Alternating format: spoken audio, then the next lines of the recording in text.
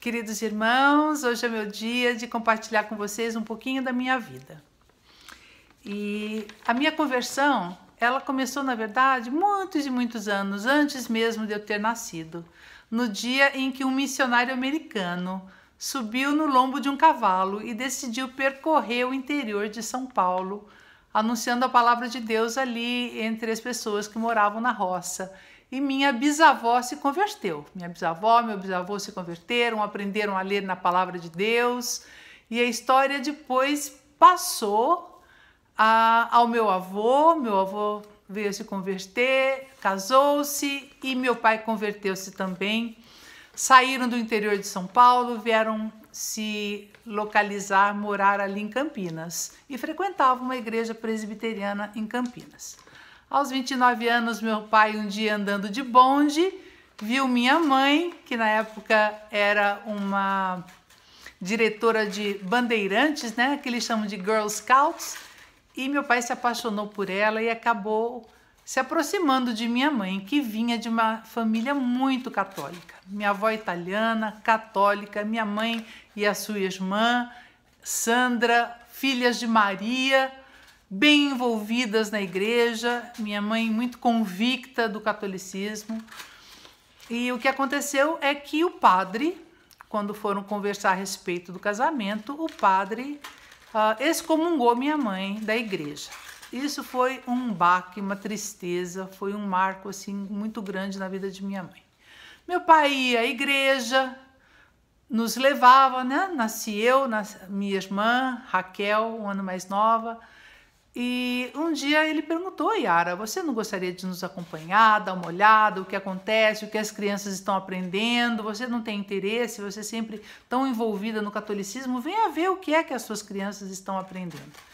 E minha mãe começou a frequentar a classe de criança de 5 anos na escola dominical e deu seu coração para Jesus um dia escutando uma das histórias bíblicas contadas naquela classe. Foi uma grande mudança na vida de minha mãe, porque minha mãe, que tinha já o temor de Deus muito forte no seu coração, começou a entender o Evangelho e começou a ler a palavra de Deus. Ela rapidamente se envolveu com a escola dominical, passou a ser professora da escola dominical.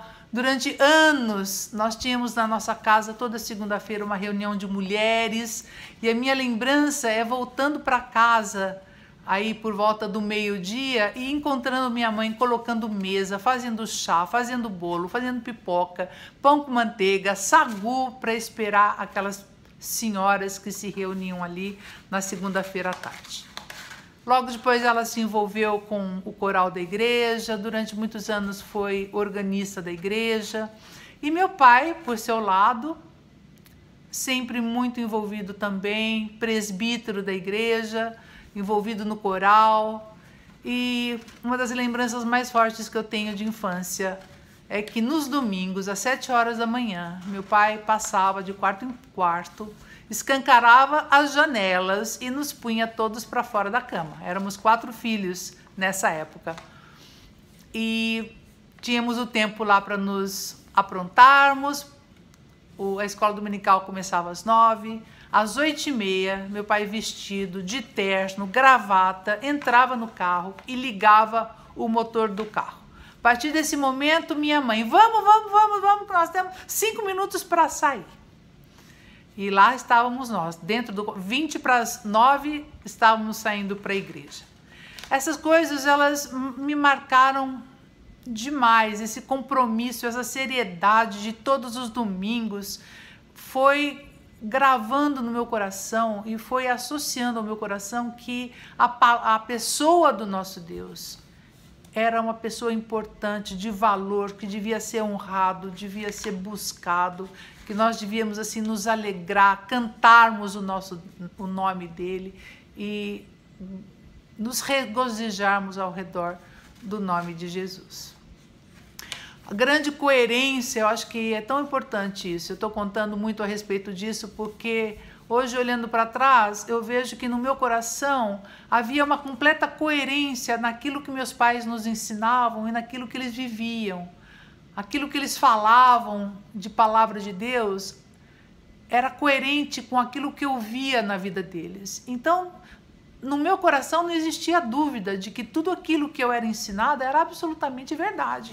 Nunca passou pela minha cabeça que tudo aquilo que me ensinavam na igreja, em casa, a respeito da pessoa de Deus, do seu grande amor, do seu plano de resgate, nunca passou, nunca tive dúvida a respeito de nada disso. Sempre tomei tudo isso como verdades muito sérias no meu coração. Aos 17 anos, eu me lembro ter participado de um acampamento Palavra da Vida. Foi o primeiro e único acampamento que eu fui.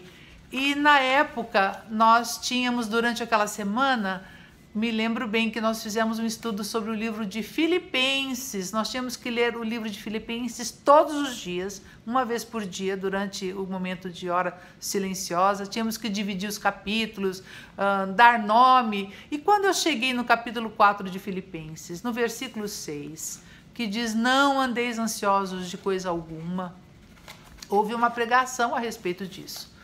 E eu tenho essa memória de ter sido grandemente impactada por, por essa mensagem de que Deus cuida de nós, Ele escuta a nossa oração, Ele está disponível, Ele nos socorre, Ele está perto, Ele enche o nosso coração de paz. E também foi um marco muito importante na minha caminhada. Eu voltei desse acampamento, fiz a minha profissão de fé, que na igreja presbiteriana o batismo, na verdade, é chamado de profissão de fé, mas esse momento de profissão de fé foi uma coisa muito consciente e uma ver, bem verdadeiro no meu coração. Eu estava ali hum, entendendo muito bem o que, o que eu estava fazendo, entendendo muito bem o plano da salvação, entendendo muito bem as minhas dificuldades, os meus problemas, que eu era pecadora e que realmente Deus no seu infinito amor, havia preparado esse presente de resgate das nossas almas através do sacrifício do seu filho. Nós sempre fomos uh, em casa, nós sempre fomos assim criados muito entre nós. Nós quatro brincávamos entre nós mesmos. Eu não tinha uma vida assim muito social, a não ser a vida aos fins de semana com a igreja. Nós não tínhamos assim muitos amigos, conhecidos, nada disso. Nós vivíamos ali, nossos meus avós moravam perto, meus avós maternos se mudaram para nossa casa, meus avós paternos moravam na mesma rua, na casa da frente. Então, nós vivíamos num núcleo assim bem fechado. Aos 19 anos, eu saí de casa para ir fazer faculdade de medicina em São Paulo. E acabei durante os primeiros quatro anos, indo morar uh, numa casa de madres, e eu convivia com as meninas ali, que vinham de vários lugares do estado de São Paulo. A maior parte das meninas eram filhas de fazendeiros que vinham do interior, e pela primeira vez eu comecei a observar as pessoas que não tinham a Cristo como é que elas viviam né? Os comportamentos, as escolhas, o que falavam, as mentiras, os namoros, ah, e fumavam escondido. E pela primeira vez eu comecei assim a ver, havia saído do meu mundo tão cuidado, tão gostoso, e comecei a ver realmente as escolhas que as pessoas faziam. E eu lembro que me deu essa sede, essa fome de eu começar a ler a palavra de Deus, porque a palavra de Deus foi cada vez mais se tornando para mim como eu gosto de brincar e dizer como uma bola de cristal. Eu li a palavra de Deus e era como se o Senhor estivesse revelando ali, contando o que vai acontecer. Olha, filha, se você escolher desse jeito, vai acontecer assim. Olha, filha, se você escolher desse outro jeito, vai acontecer assim. Filha, não faça isso. Eu estou dizendo isso por amor à sua alma, por amor à sua vida, ao seu futuro. Não faça essa escolha. E eu fui me apaixonando pela palavra de Deus. Eu fui me apaixonando. Eu era amava ler a Bíblia. No quarto ano de faculdade, eu fui morar com uma colega, isso já no hospital, né? Eu, como eu era de fora, eu tinha direito a morar dentro do Hospital das Clínicas e a minha colega ela era espírita. E ela um dia virou para mim e falou assim: Eu não sei porque você lê tanto a Bíblia, você só tenta fazer o que é bom, você anda certinha, você não faz nada errado, você, de acordo com o Espiritismo, você já é certo que você vai para o céu. E eu pude responder naquela época de que, de acordo com a palavra de Deus, não era certo que ela fosse para o céu. Mas a mãe dessa minha amiga era espírita, era médium, ela via muita coisa acontecer na casa dela e durante os anos que nós moramos juntas, ela realmente nunca se abriu para o evangelho verdadeiro, né? Apesar de ler Allan Kardec, que tem trechos do evangelho ali, ela realmente nunca entendeu o plano da salvação. Um outro grande marco na minha vida foi o meu casamento com o meu esposo. Eu creio que eu realmente me apaixonei por ele um dia em que ele me convidou. Nosso primeiro date foi uma ida com a mocidade da igreja dele, a uma igreja da periferia de São Paulo. Eu só o conhecia do hospital, porque ele já havia sido meu professor em duas situações, em duas épocas diferentes. E qual não foi a minha surpresa o dia que nós fomos a este culto? Ele era líder da mocidade na época e ele subiu no púlpito. Primeiro acompanhou o corinho, né? Eu fiquei bem surpresa de ver que ele tocava piano tão bonito e ele subiu ao púlpito e com paixão ele pregou a palavra de Deus. Aquilo realmente caiu assim muito gostoso no meu coração, porque eu falei: "Uau!" É isso que eu estou procurando. Eu estou procurando alguém que leve o Senhor a sério, que ame a palavra dele, que tenha temor do Senhor. E essa é a definição que nós usamos aqui em casa. Temor do Senhor é quem leva a palavra de Deus a sério.